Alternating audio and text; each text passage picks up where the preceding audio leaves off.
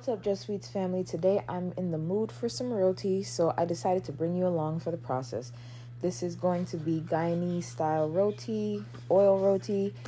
Um, so right now I'm just going to show you everything that you're going to need. You're going to need flour, baking powder, oil, and warm water. So right here, I measured out about three cups of flour into my bowl. Now I'm just adding in about a teaspoon of baking powder and about two teaspoons of oil. And I'm going to mix that together. And now I'm just adding in my water little by little. You want a soft but kind of sticky but not too sticky dough. For this recipe, I used about one and a fourth cup of water. And after you finish adding in all your water, you want to knead it together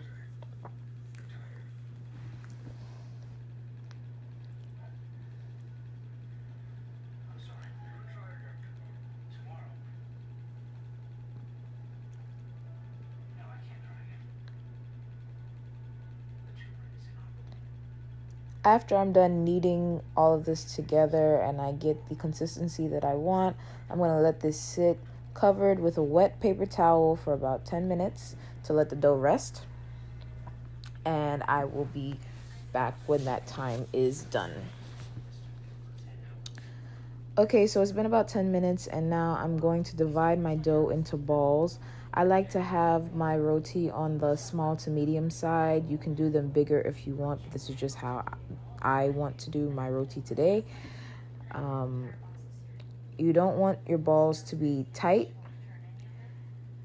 And after I do this, I'm going to kind of let them rest, but not really um, because I'm going to oil them right after. But I'm going to start with the first ball. So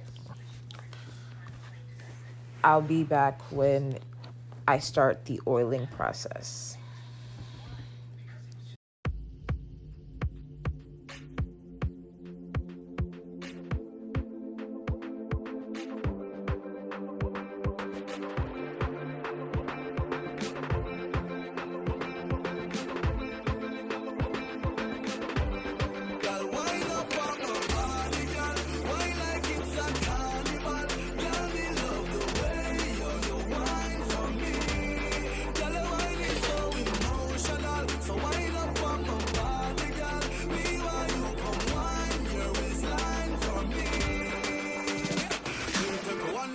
Shot, three shot, four. After nine minutes, she come back for more. She take off the shoes and pound the dance floor. Then she start to broke out, broke out like a sword.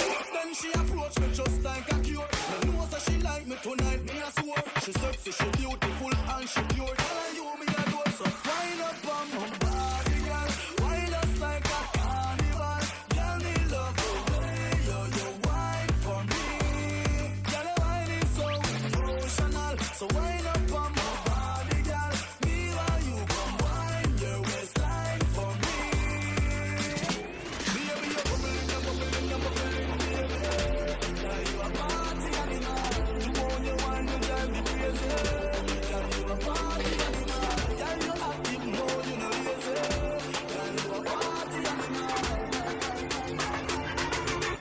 You're bubbling, you're bubbling. Bubbling, bubbling, you're bubbling, bubbling. Bubbling, bubbling, you're bubbling, babe. Bubbling, bubbling, you're bubbling, bubbling.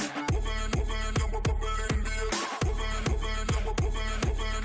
Bubbling, bubbling, you're bubbling, babe. Bubbling, bubbling, you're bubbling, bubbling. Make your bumper flip it like a flipper girl. Bubbling,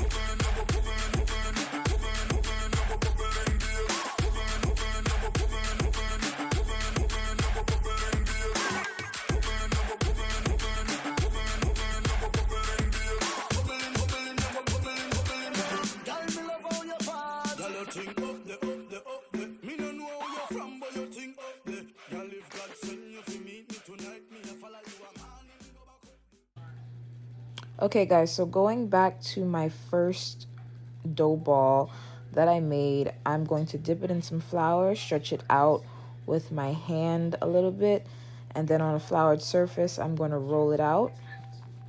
This part does not need to be perfect because it's going to get rolled up again.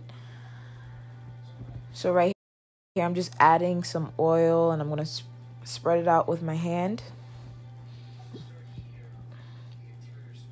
Going to make a little slit from the middle of the dough to the edge and roll it into kind of a cone. Put the end of the, well, the tip that didn't get really rolled in um, toward the bottom and then place it on the surface and push the tip of the cone into the base. And that's the process of how I oil my roti. And I'm going to set it aside and repeat this process. After I'm done oiling all my roti, I am going to let them rest for maybe about an hour. You can let them rest up to overnight in an airtight container, um, but it really just depends on how much time you have. Um, if you don't have an hour, 15 minutes is good as well. Just make sure you let the dough rest. Remember, the longer you let them sit, the softer they will be and the more layers that they will have. I do let them rest also with a wet paper towel over the top so it doesn't dry out.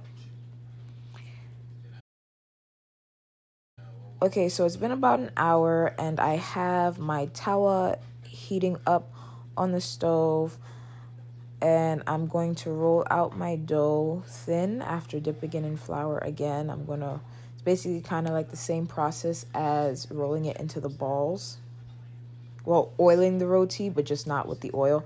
Um, I'm gonna roll it out, like I said, and then I'm adding some oil to my hot tawa.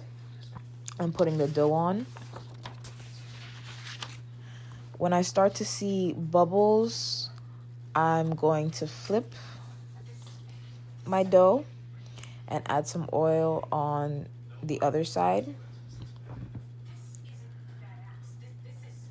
So this first one doesn't have the color that I want. So I just flipped it a couple more times to cook on each side. You do want to see a little bit of brown on the dough.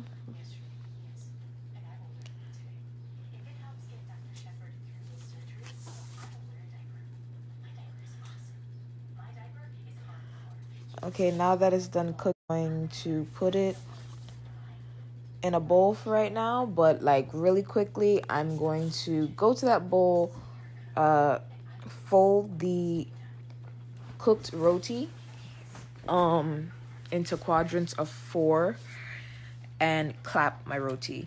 Uh, careful that the roti is still hot, but this is to release the layers um, of the roti, and you will really see and feel how soft the roti is.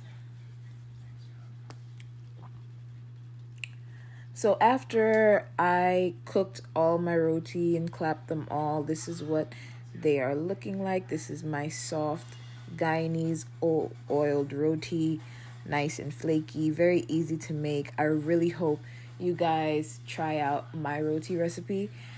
Um, thank you so much for watching. As always, don't forget to like, comment, and subscribe, and I will see you in my next video. Bye.